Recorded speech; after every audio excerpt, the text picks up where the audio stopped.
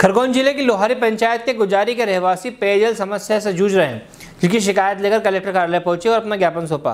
हम आपको बता दें कि निमाड़ में कम बारिश होने से किसान परेशान हैं। साथ ही पीने के पानी को लोग तरस रहे हैं। इस दौरान ग्रामीणों ने बताया कि पानी की समस्या को देखते हुए दो बोरिंग भी कराई गई थी। उसके बावजूद भी पानी नहीं निकलने से कलेक्टर कार्यालय पहुँचे हैं। ज्ञापन के माध्यम से क्षेत्र में पानी की असुविधा के कारण मानव के साथ साथ पशुओं को भी काफ़ी परेशानी का सामना करना पड़ रहा है। जिला कलेक्टर से ग्रामीणों द्वारा मांग की गई है कि पानी की समस्या को जल्द जल्द दूर कराई जाए। खरगोन से जयंत गुप्ता की रिपोर्ट। पीने की स्थिति बड़ी अत्यंत भयानक बनी हुई है। वो तो ठीक है। वर्षा नहीं होने के कारण फ़सलें भी गाँव के अंदर सूख रही है। शासन प्रशासन से हम निवेदन कर रहे हैं जो फ़सलें सूख चुकी है उसका सर्वे तत्काल किया जाए और जो आर्थिक स्थिति के आधार पर बाज़ार ग्राम गुजारी से ग्राम निवासी आए हुए हैं। पंचायत वैसे हमारी लोहरी लगती है विकास खंड कसरावत हाँ। हमारे पेयजल की बहुत विकट समस्या है।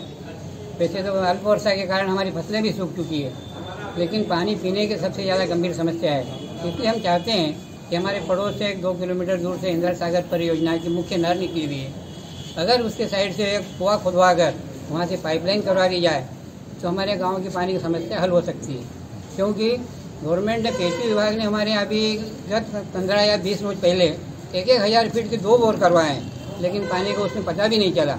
हम नहीं चाहते हैं कि और पेटी विभाग वहाँ बोर करे और शासन का पैसा नुकसान हो।